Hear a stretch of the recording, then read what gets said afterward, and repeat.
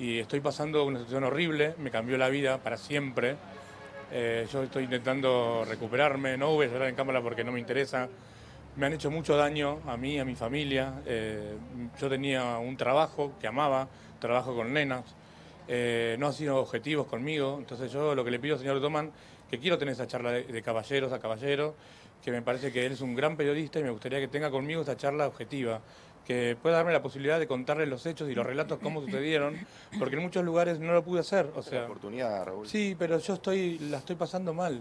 Eso es lo que por ahí la gente Claro. no entiende. Claro. Yo claramente, yo lo he escuchado al señor Doman y obviamente que no me puedo poner en el lugar porque acá murió una persona, entonces yo no soy el protagonista de eso. Yo soy parte, como lo dije, eh, en un punto me siento también, eh, salvando las diferencias, o la, la distancia claramente, pero yo también me siento como una víctima de un montón de cosas que sucedieron que tanto, bueno, Natacha ya no está más, murió, y eso es lo que tienen que explicar eh, las personas que tienen que explicar. Y a mí me cambiaron la vida, yo fui a una reunión de trabajo y terminó mi amiga muerta y gente que se drogó, que yo no tenía nada que ver en esa situación, que no, no formaba parte en absoluto. Y eso es lo que por ahí no, no, yo cuando reclamo y digo que conmigo no se aplicó la igualdad de derecho, no se aplicó el beneficio de la duda, han sido muy crueles, no solamente conmigo, con mi familia, porque atrás de todo esto hay una familia. Claro. Me dijiste, fui víctima de cuatro personas que no pudieron manejar sus narices.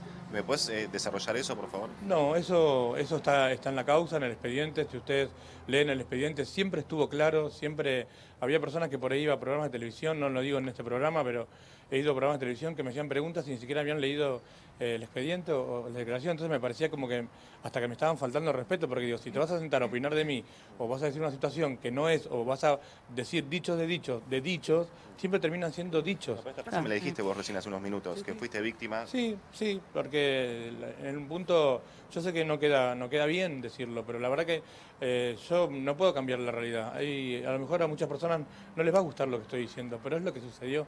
Yo no puedo contar otra cosa más que lo que sucedió. O sea, y en un punto a mí me cambió la vida. No, hay una persona que no está más. O sea, que eso no lo vamos a poder... O sea, hay una persona que no está más y yo entiendo que en un punto la familia pueda tener dolor. Yo también tengo dolor. Pero me parece que yo no soy una persona que cruce límites, no rompo códigos. Conmigo se han roto muchos códigos, eh, han cruzado límites, eh, me han tratado hasta de, pedófilo, paraguayo, han sido xenófobos. eh, gente que tendría que hacer, está al frente de un programa de televisión donde tendría que hacer un cursito o leer algo, porque la verdad que la xenofobia está muy latente y lastima mucho. Eso, nada, por eso yo eh, no estoy enojado ni con la prensa, ni mucho menos. Yo ya veo, vengo bajando casi 7 kilos. Mi vida cambió, cambió para siempre. Eh, el señor Ulises ha hecho un hostigamiento eh, personal hacia mi persona, donde me ha agraviado, injuriado, descalificado incansablemente. Yo entiendo su dolor. Hasta un punto lo comprendí y, y por eso siempre fui muy reservado, muy cauteloso.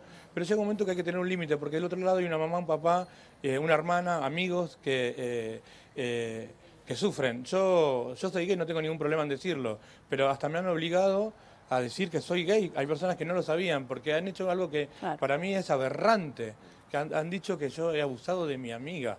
¿Te puedes saludar, Fabián? Eh, no.